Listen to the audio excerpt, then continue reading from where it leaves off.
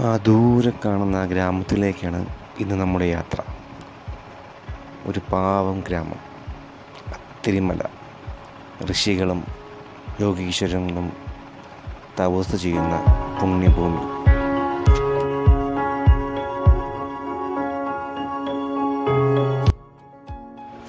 ഈ ചുറ്റും കാണുന്നതാണ് അത്തിരിമല.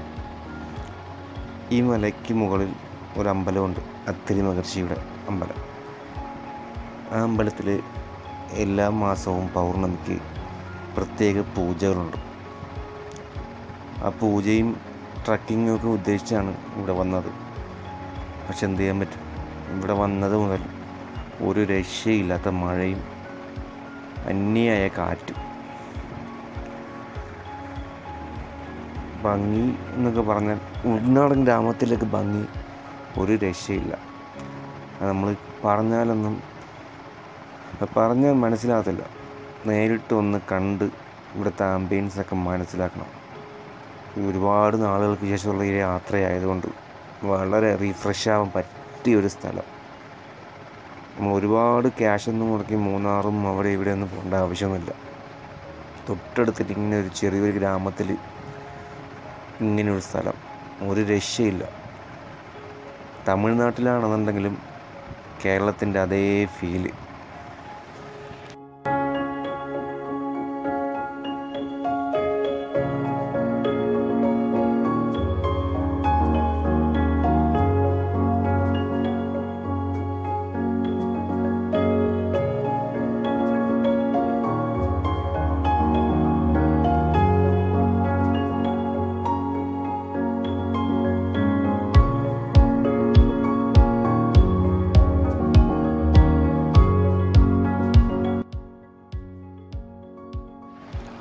ഇവിടെയാണ് കേട്ടോ ഞങ്ങൾ താമസിച്ചത് രണ്ട് ദിവസം.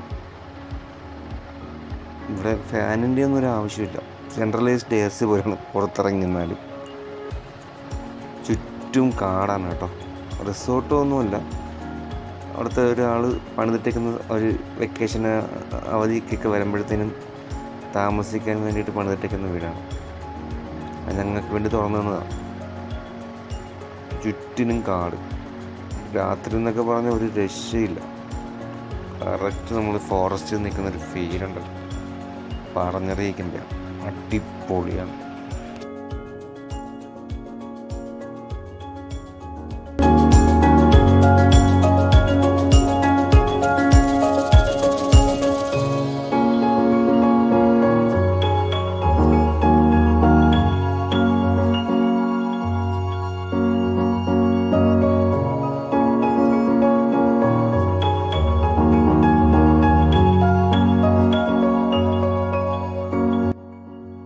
സ്വർഗം പോലുള്ള ഞങ്ങളിന്ന് ഇവിടെ തിരിക്കുകയാണ് അപ്പോൾ ഇനി അടുത്ത വീഡിയോയിൽ കാണാം.